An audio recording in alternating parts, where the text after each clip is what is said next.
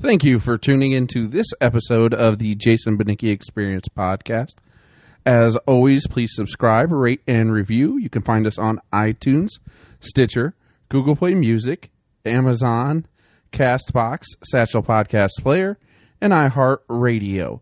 Uh, please add us on Facebook, the Jason Banicki Experience Podcast, Instagram, Jason Banicki Experience, and you can always add me on Twitter, Instagram, and Snapchat at J S O N B A N I C K I. Uh, if you had been enjoying the daily episodes, I think you've noticed I only did a few of those and then kind of scrapped that. Uh, going to get one out th- this week, so it's about a week between episodes roughly, uh, and try to get another one out next week before I pack up and move.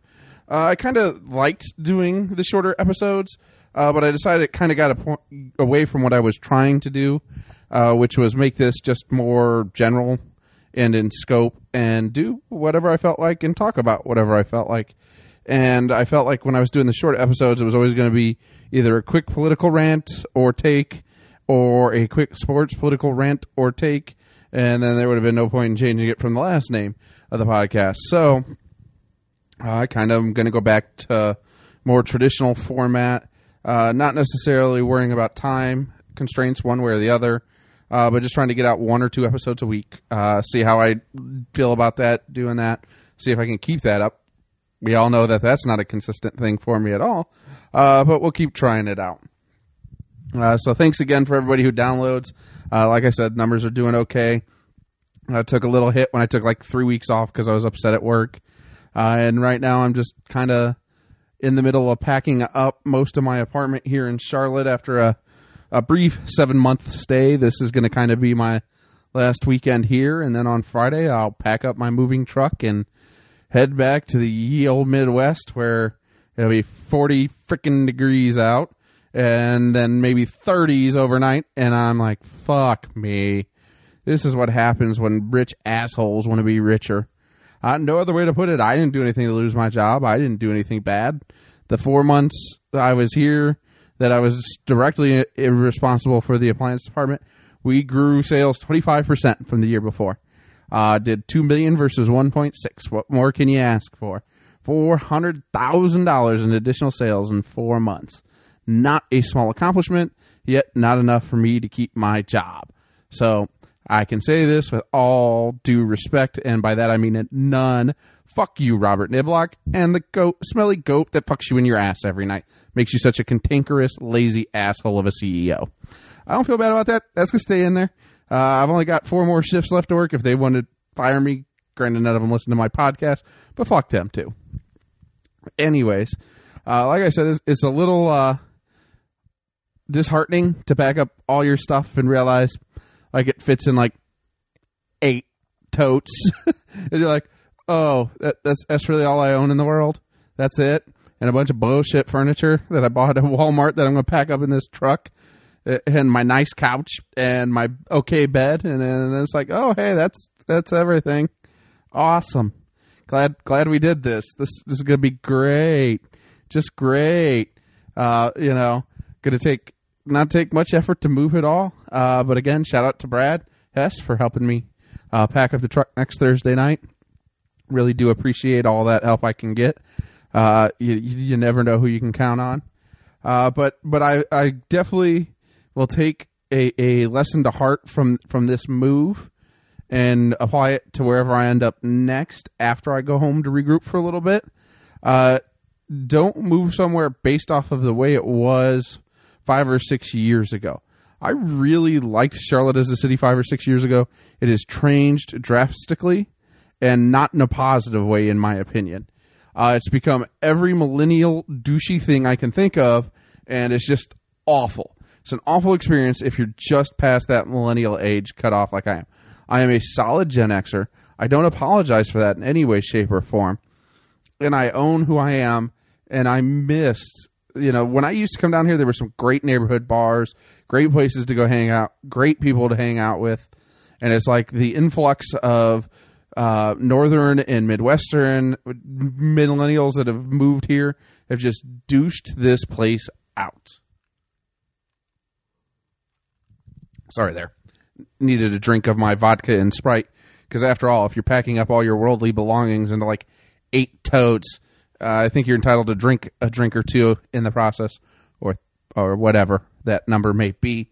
Uh, however, um, where was I? Oh, you know, Charlotte's one of these new, modern, hip millennial cities, and by that I mean every bar has thirty fucking craft beers on tap. They're like eight dollars a piece. That are are just another fucking beer. Uh, they're packed to the gills with people all talking about nonsense, but not talking to anybody new. Uh, you know, I was lucky enough to to come of age uh, at a time when bars were still neighborhood bars, and they were great. Uh, before cell phones were predominant, so people weren't on them all the time at the bar, uh, and also where camera phones and video wasn't taken all the time, so people just actually sat and talked to people and met the experience. Uh, it, and uh, when one of my when our when our when my buddy Aaron, college roommate of of mine and Brad's, came down uh, Aaron kind of saw it very similar way, and, and you know, Brad interjects that you know I just want to be at, at at some bar where it's just regulars who are just regulars and they don't like new people, and I'm and I'm just thinking to myself, I don't want to school the kid because he doesn't want to hear it. He really doesn't. I've tried to explain it to him a hundred times. Regulars at a bar do not really keep to themselves. You know, if there's somebody who's being a douchey asshole or just an asshole in general or a fucking cunt if they're going to be a cunt, uh, you know, we regulate that shit. Don't get me wrong. We don't want to deal with those people. However, regulars at a bar want to talk to as many new people as they can. They're regulars at a bar because it's a nice place. They've got to know the staff. It's really chill. They do have friends that come down there all the time and you hang out with your friends, and that's cool too. But there's nights where your friends aren't there or where there's one or two new people total in the bar. You're like, hey, you know, you guys want to hang out with us? Sit down, have some drinks, talk some bullshit, tell some stories, watch the game, go play some darts or pool. You know, it's a welcoming environment. It's it's again, as I've said before in previous podcasts, it's one of those environments where you kind of. I've been lucky enough to meet and maintain friendships with people for 15 years now, and and there are some that I haven't done as good a job keeping in contact with, and I'll going to reach out to one of the guys over this weekend and, and try and catch back up with him after a few years. Uh, you know, I think we all get a little lazy with Facebook and Instagram and stuff like that. Uh, but like I said, you know, uh, Charlotte lacks that neighborhood bar anymore. That everything's, you know, either a, a live venue for entertainment of some sort, which is cool. You got to have those, or just like a brew pub or someplace like I miss bars with five different beers on tap, uh, good drinks, good bartenders that could slang you a drink, uh, and weren't trying to sell you up on the latest god awful trend in alcohol or you know the the fifty dollar bottle of wine that's going to taste the same as a ten dollar bottle of wine. And any sommelier out there who wants to challenge me, I will put you to the same blind taste test that multiple studies have done and proven you guys are full of shit. Uh, and you know, t- to be honest, uh, helping out at a, a beer tasting kind of festival type thing uh, proved to me that that most of these people who who do this craft brewery thing and and the people who sell it just talk out of their ass. I mean, literally within an hour, half hour of being there, I had uh, me and Aaron had a section of like a dozen beers in front of us that both of us could pick up on. Okay, what kind of beer do you normally like? What do you normally drink? And we could recommend a beer based off of that out of the dozen we had in front of the two of us. And we were hitting home runs probably 90% of the time. You know, just boom, boom, boom, real quick, you know, because at the end of the day, sales is all just being able to read a person, meet their needs, get it to them. Whether you're selling alcohol, whether you're selling cars, whether you're selling houses, whether you're selling appliances, doesn't matter. And again, with Charlotte's population exploding, it it just it, it has encapsulated this millennium trend, millennial trend of just awfulness in bars. Like they don't get it, they'll never get it. They're missing out on an earth, erstwhile experience, and I'm guaranteeing you, I'm using that that word wrong. But a worthwhile experience of meeting friends that you'll have for the rest of your life at your neighborhood bar. And I know it's not for everybody, and I know it's not everybody's thing, But that's one of the things that I would I would have enjoyed the most when I was down here that just doesn't exist. Not that real consistent neighborhood bar. You know, there's there's a nice place around the corner for me. Still not really a neighborhood bar. Uh, you know, there but but like I said, I used to come down here all the time, and just up the road from where I'm at was a great neighborhood bar when I used to come down here. And every time I'd come down here, I'd visit it. Uh, mainly because it was right by UNCC campus, and that's where my cousin went to school, and her boyfriend lived right over there. And I could walk to it when I was staying with them. So that way, if I wanted to drink and drink some a bunch, I could walk right back. Uh, you know, there's cool things in Charlotte too. You know, hard to doubt the epicenter. It'll always be the place where I was when the Cubs won the World Series. And, and again, it, even if it was just for a short period of time, at, at seven seven and a half months, whatever it's been now, give or take a little. Uh, you know, it'll always been a place I lived, even for for just a little while. It'll always been a place that I called home for for a short period of time.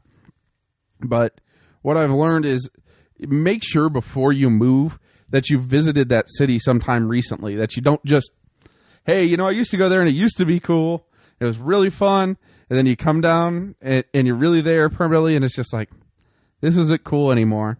I haven't been here in a while. This kind of sucks. Um, not really happy about this. Uh, you know, again, I would have liked to stay over, go back to Midwest Winters. Uh, but again, this gave me a chance to regroup, look at some new places, look at some old places I was looking at. Again, Nashville is always going to be a place I go every six months to once a year.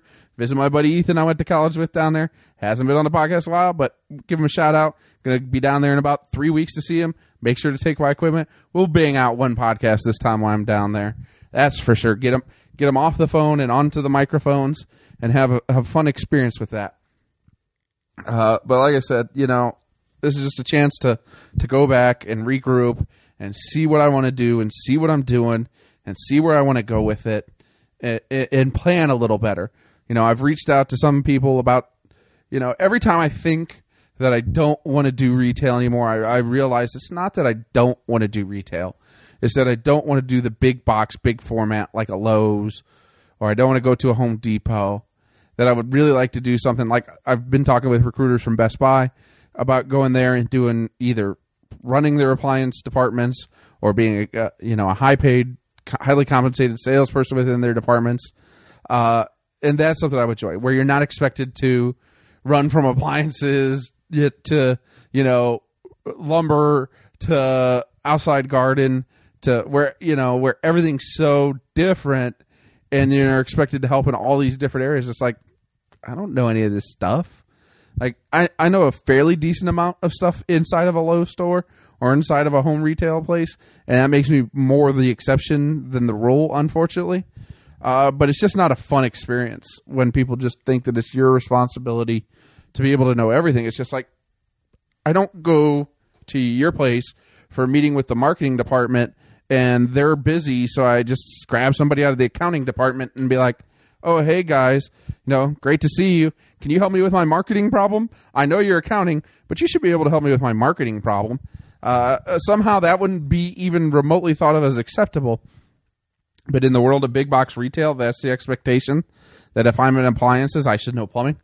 I don't know jack shit about plumbing.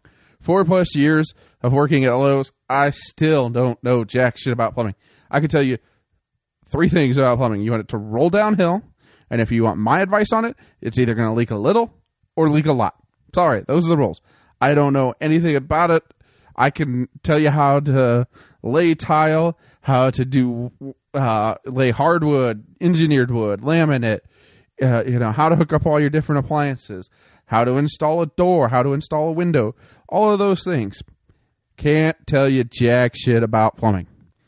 Can't tell you anything about flowers or any of the stuff we sell in the outside garden area.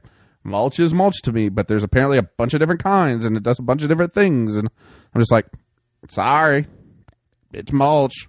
If you want it, we got it. If it's not what you want, sorry. I don't know what to tell you.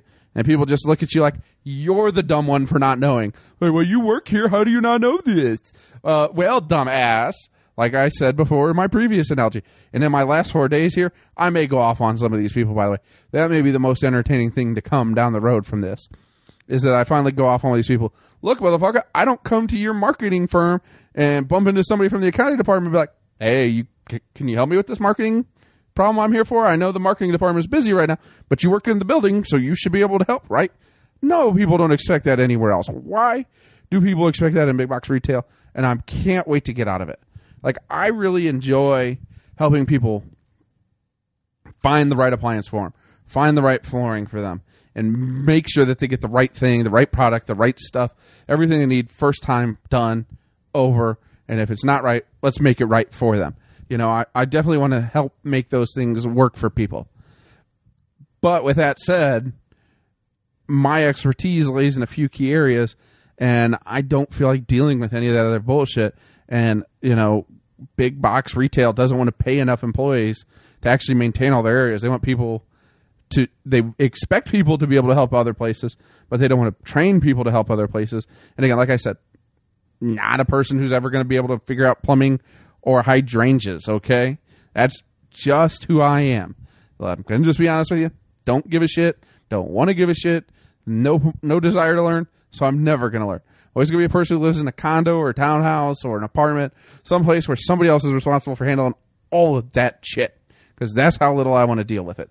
Rest of my life, don't care. Somebody else's problem, not mine. So, anyways, back to my key point. Ready to move on. I'm really ready for this last week to go. I almost was just tempted to turn my stuff into day and be done with work. I was really that ready, so I could just really focus on packing, relax a little before I get home. Because once I get home, I've just got a couple days to unpack, get ready, and I've got to start hitting Uber and Lyft like hardcore to get ready for you know till I get a job because I still got to make some money, got to have a paycheck, got to pay them bills. You know, it's amazing. You know, Sallie Mae ain't gonna listen to me like, sorry, I lost my job because my boss needed the stock to go up two dollars a share so he could make thirty-two million dollars selling half of his shares this year. Hashtag CEO sucks ass problems. Fuck off. Uh, but, anyways, I, I don't want to belabor this too long, but that's kind of where I'm at this week. I'm just kind of getting everything packed up, kind of eating most of my stuff on the run now because I've got want to get get the last of the little bit of food I have here finished, and then wash the rest of my dishes over the next day or two and get them all packed away. So I'm really just down to the few things I need in the the bathroom and the clothes on my back to get me through till it's time to pack up and move. I'll probably leave one TV hooked up, my PS4, and my game, my three whole games I own for my PS4. Really, really kind of amazing. I saw, you know, I have my original Nintendo in my box full of like 40 games. And then it seems like every system I get, I just have less and less games down to where I've got three games for my PS4 baseball, basketball, football, and I have NASCAR downloaded on the system. And the only other game I want to get is GTA Five because what's what's the purpose of a video game system if I can't carjack people, uh, sleep with hookers, then run them over and get my money back? I'm just saying, life is hollow and meaningless and empty without that. Uh, so, anyways, kind of beat that point to the week. Uh, all things considered uh, it was a quiet week in the world of politics. You know, there's a little of extraneous noise with Flynn seeking immunity. There's no surprise in that. I don't know why anybody's reading anything into that at all. I mean, you always have the, the regular tweets from Trump. I'm again going to try and ignore those. I don't want to belabor on that too much on this episode. Uh, but we did get to see the Bulls on TNT Street go to 20 games this week uh, take down the Cleveland Cavaliers on Thursday night. Uh, I'm recording this Friday night, trying to get it up just before the end of the month. So that was kind of exciting, kind of cool. Uh, very, very excited about the fact that the Bulls are, you know, going to somehow hang on right around the eighth seed of the playoffs and sneak right back in again, and uh, essentially be meaningless and get bounced out in five games in the first round. Woohoo! Let's all book our tickets for that one. So excited. Uh, did finish the season four and zero oh with a sweep season sweep of the Cavs, but that's not gonna matter. Come playoffs, the Cavs will, will trounce them 100 percent of the time. Like I said, probably five games. Bulls could probably steal one at home. Same against the Celtics, they could probably steal one at home. That's that's the most they could hope for. Uh, so I can't even be too excited about that. But this is Friday night, 10 p.m., less than 48 hours away from opening day of the baseball season. Uh, like I said, I wanted to get a baseball preview episode out with somebody. I am really going to try and hammer home Ethan tomorrow to get one recorded. I want one recorded baseball preseason prediction episode just because I'm so excited about the first season in my lifetime. And pretty much everybody who could be out there living, breathing right now, first time in their lifetime that the Cubs are defending World Series champions going into a season. Let me repeat that for emphasis for those of you out there listening who may not know, may have been in a coma for the last five, six months, or may not understand. We are going into the first season in 108 years where the Chicago Cubs are the defending World Series champions and get to open up the baseball season Sunday night on ESPN, where I'll have to be out at a bar to watch it because I don't have ESPN at home. Uh, I guess I could stream it on an app, but thank you to all my family members who give me passwords so I can watch sports on uh, my Fire Stick because I sure as hell ain't paying for cable. That's just a giant ripoff anymore. More and more money for less and less channels, or you get loaded up with channels that nobody cares about. Sorry about that. Had to get another drink. Apologize for that elongated break in there. Uh, other than that, like I said, it was kind of a. It's been a quiet rundown at, at, at work for me. I've been just kind of there. I haven't been putting in much effort. I don't know how the rest of you handle leaving a company that's basic that's giving you the boot, but you know, giving us a notice ahead of time on when they're letting us go wasn't really the smartest idea because there was no way I was putting maximum effort in down the stretch. And it's just like, uh, what did you expect from me? You know, I'm not going to give 100% effort 100% of the time down the stretch here. Uh, you know, I'm going to do what I got to do. I'm going to keep the doors open. I'm going to take care of customers when they come in. That's what I'm going to do. But I ain't doing any of the extra work. I ain't running to help neighboring departments at this point. I ain't flying around to teach people new things anymore. That's one of the things I did the best when I was there was help teach people new things. And I, I mean, I still help people even today learn some new information. But it's I'm not gonna stretch myself to do it. I'm not gonna go out of my way to learn it or to help them learn it. You know, I've done my part. I've done my time. You decided my skill set wasn't good enough. All right, like I said, it's pretty bland week at work. Uh, but I do want to turn this like I said, there were times where I just want this to be more of what I talk about, what just what's going on in my world and where I'm at. And uh, like I said, I'll finish packing up this weekend. Have basically the clothes on my back and the regular shower stuff and the shower curtain, of course, to uh, take home and put up. And like I said, a TV and the PS4 uh, this week to get packed up, and then move home on Friday and then middle of the week next week, I get to go see Eric fucking Church live because my cousin had extra tickets and hooked me up with some fat seats. Can't wait to see that. Three plus hours, Eric Church rocking out on the stage.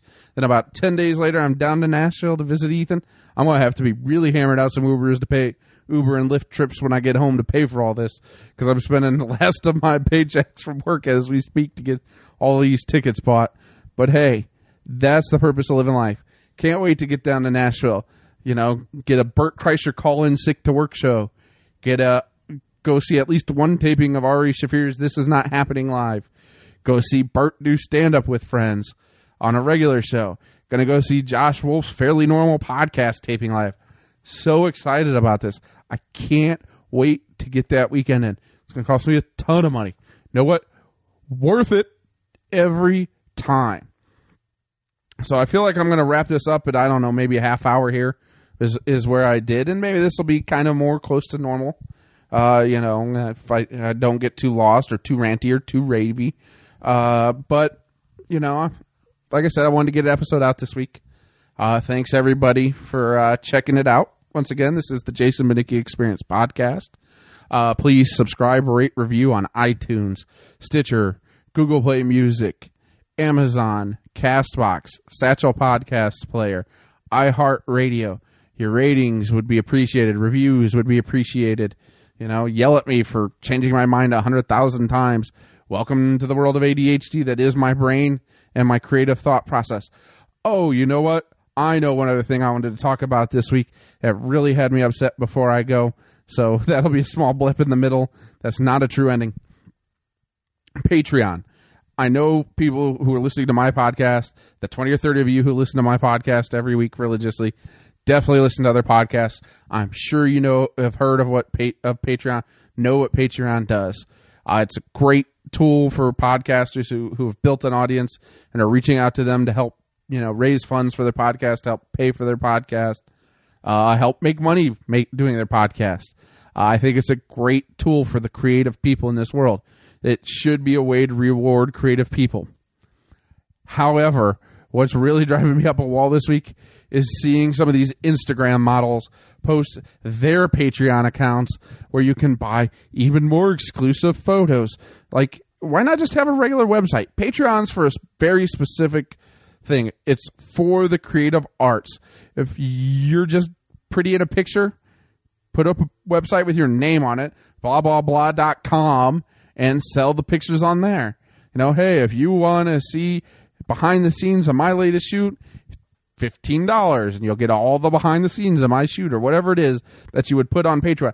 Just don't water down what Patreon is and what it's meant for and take money that could be going to people who need it, who deserve it, who have earned it through their creativity, through their hard work, through through their efforts, through through the content that they've created for people. Let them get those dollars. You know, I'm not saying that Patreon is a limited pool, but there are only so many uh, dollars in Patreon to go around. I'm not sure why my Siri fired up there. Hopefully, the audio didn't pick up on that. but you'll have that. But again, leave leave Patreon for for the podcasters and the artists and the other people who who are creating art and creating content. Uh, if you want to be an Instagram model, that's cool. Be an Instagram model. Hope some advertisers see you, and then create a website that you can sell your stuff on. Don't take it away from those who need it. Hopefully, someday I'll have a big enough following that I can have a Patreon account. Uh, I mean, I guess technically anybody can, but I'm not going to until I feel like I've created enough content. And on that note, I'm going to give a couple of shout outs before I go off the air this week. Uh, again, if you're listening to me, I'm not your only podcast stop. So check. I'm going to give you a, my my five podcasts that everybody should be listening to right now. Uh, first and foremost, the Full Charge Power Hour. If you're not listening to the Full Charge Power Hour already, do yourself a favor, check it out. You'll love it. It's funny. Comes out every Sunday night. He's really they're really good at getting their episodes out every week. Everybody will laugh. Everybody will love it. Second one. Uh, this one catches me on caught me off guard when I first listened to it. Didn't know it was out right away, uh, but had heard uh, Freddie Prinze as a guest on the Christopher Titus podcast, and then he talked about his podcast, Prinze and the Wolf. Freddie Prinze Jr., Josh Wolf. Uh, it's entertaining as hell. It's fairly new, 15 episodes roughly, give or take, so you can catch up on all the backlog, get right up to date with all their stuff, get in, get in while it's new. You'll love it. You'll thank me for it. Again, Full Charge Power Hour, Prinze and the Wolf. Those are the first two. Uh, I can't say enough about the Bertcast. Uh, you guys always hear me. I'm sure if you've talked to me at all in real life or have ever heard anything from me, you hear me talk about Bert Kreischer all the time. Uh, I've shown everybody in the world that I know the machine story. I uh, can't help it. Love it. Check it out. Gonna everybody will love it. Uh, one last uh, bridge, kind of. I guess I can call it sports. Can call it comedy. Whatever you want to call it. Podcast. Punch Drunk Sports. Tebow and Sam Tripoli killing it out there. Fighting Annie when she shows up, great. Uh, Ari when he comes back from sleeping with little boys in uh, Bangkok, be more than happy to show his belt buckle to everybody. And of course, Aaron there always hoping they would talk about baseball more with Al Madrigal from All Things Comedy complaining that they are just not family friendly enough to get them much marketing. So there's the first four. You've got the Full Charge Power, great podcast, one of my favorites all time. Four years going, love it. It's great. Been listening to Matt Ful- Fulchiron on podcast, going back even farther to some of his old adventures. Prinze and the Wolf, Freddie Prinze Jr., Josh Wolf. Book it. It's entertaining as hell. You'll love it. Thank me later. Third, Bertcast, Bert Kreischer, one of the funniest stand up comedians working today. Hardest touring comedians in the past year. He's killing it. His new special, The Machine, on Showtime. If you get a chance, stream it. You'll love it. Thank me later. Punch Drunk Sports, Jason Tebow, Sam Tripoli, Ari Shaffir when he's not running around the globe hiding from from bookies that he owes money. Apparently, I don't know what his deal is right now, but he's hiding. Great sports slash comedy podcast. Uh, they've been having a lot of guests lately. It's entertaining. You know, they have Steve Rannazzisi on there every once in a while. He does crazy things. They have a lot of people on there, but anyways, book it down. Entertaining. Every Tuesday they record it live. You can watch it on YouTube or comes out on uh, typically Wednesday mornings on the podcast. Uh, fantastic. Then I'm going to throw the oddball in here for you. I'm going to throw one of my favorite political ones, Vox's The Weeds. This is a very policy focused podcast. If you're somebody who likes the minutia of government and policy discussions, this is a great podcast with uh, Ezra Klein and Sarah Clifton and uh, Matt. Oh, for Christ's sake. I can't think of Matt's last name right now. Uh, but you're going to have all three of those on there usually almost every week talking about some new policy. Uh, you know, some trying to, as common folk, get up for you. So again, check them out.